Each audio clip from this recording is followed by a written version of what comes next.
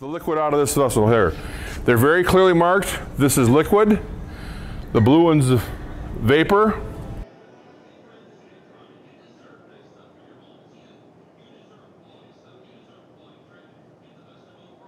The bottom of the cylinder instead of the top, but um, made a lot of noise. Doesn't doesn't hurt anything. Just got me excited.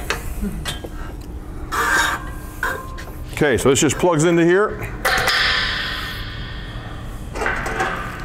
This one now will plug into, oh, for, sorry about that, forgot about my little tail.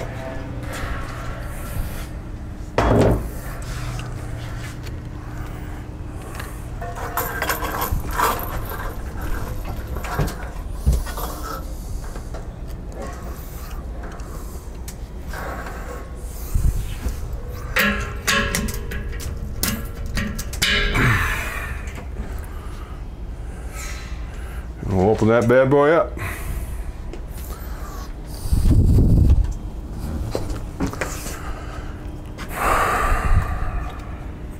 Okay, this about 220 psi on the regulator.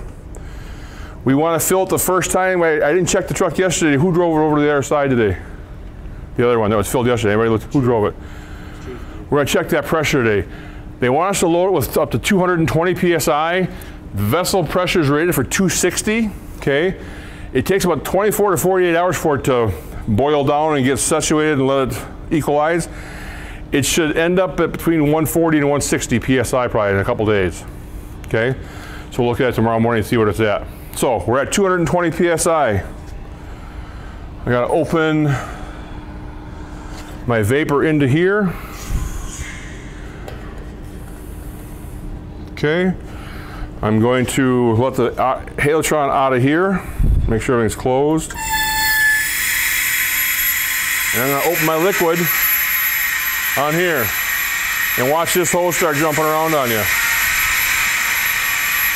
Now we need to send, oh.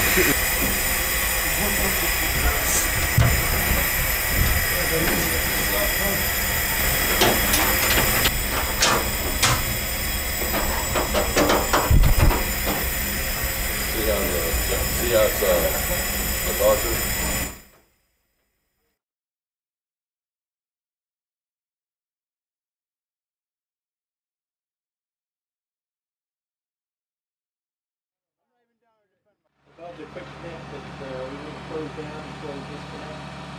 You're gonna shut off the liquid, then shut off the vapor. Get them both shut off so they're disconnected from the truck or from the thing. We can bleed the, the pressure off the vapor line over here. It's closed off right here and we can bleed it off. We got a bleeder valve right there. We just bled off the vapor pressure off the inlet side. Okay? Pounds of pressure inside the vessel. We're going to use the rest of our argon out of here, and we're going to rehook up to the fill station, and we're going to repressurize or increase the pressure to about 220 psi. Okay, so I'm going to disconnect the liquid one here. And I just got a little liquid on me. Okay, we talked, we learned yesterday, though, it's not a big deal. Wash your hands when you're done. Rehook up the vessel or the vapor or the argon. Okay, and we're going to recharge this to 220 psi again. That's what it says we're at. Close the valve. And I'm going to open it up.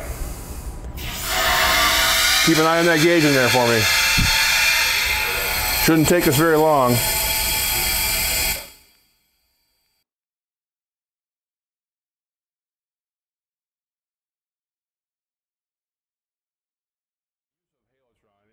Time to reload the process. We know the average fire department doesn't do this very often. Less than 1% of firefighters actually use Halotron, okay?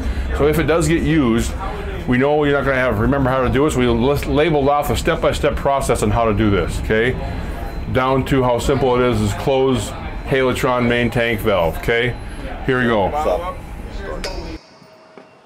Here we go, and watch this pressure go. It should jump up to between 1750 and 2400 psi, whatever this bottle is at when she's all said and done.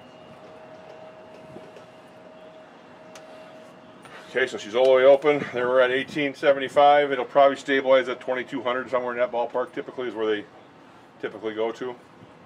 Okay. So on your daily checks,